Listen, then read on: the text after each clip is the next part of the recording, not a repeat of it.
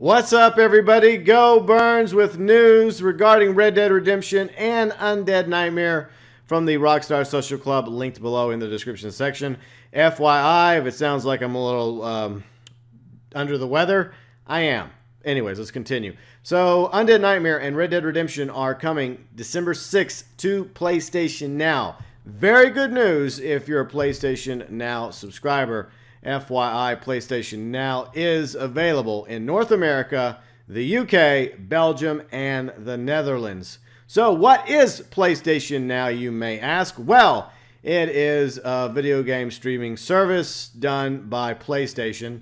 And I think there's like a seven day trial you can get. So, you can try it out for like seven days for free.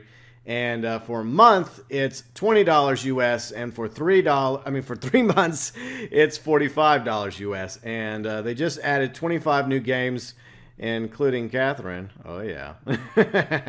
and to top that off, they currently have over four hundred and fifty games on PlayStation Now. And I have no experience with PlayStation Now. I suppose it's a streaming service for video games, very similar to uh, Netflix for TV shows and movies. And that is, you know, kind of popular. Some people like that sort of thing.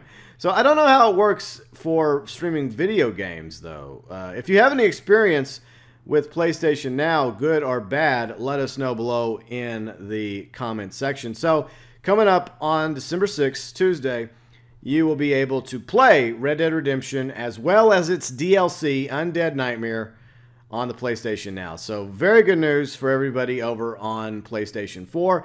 It's not exactly the best news because I completely understand the uh, desire to actually be able to go into the PlayStation 4 store and purchase Red Dead Redemption as well as Undead Nightmare and just play it that way, which would make more sense in my opinion as a gamer but I guess this is the next best thing. Plus, I believe the uh, PlayStation Now service is available for both PlayStation 4 and Windows PC. So you can play it on either or all 450 plus games.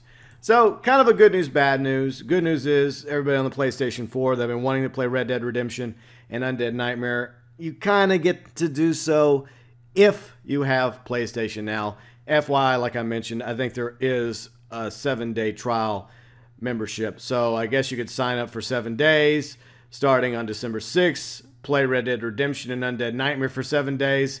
And when it's over, if you don't don't feel like keeping the uh, subscription, if you don't feel like paying 20 bucks a month or 45 bucks for three months for PlayStation Now, you can just drop it and move on with your life. But at the same time, I really do wish that Red Dead Redemption and Undead Nightmare were both available for purchase on the PlayStation 4. So let me know your thoughts below the comment section. Are you excited about Red Dead Redemption and Undead Nightmare coming December 6th to PlayStation Now?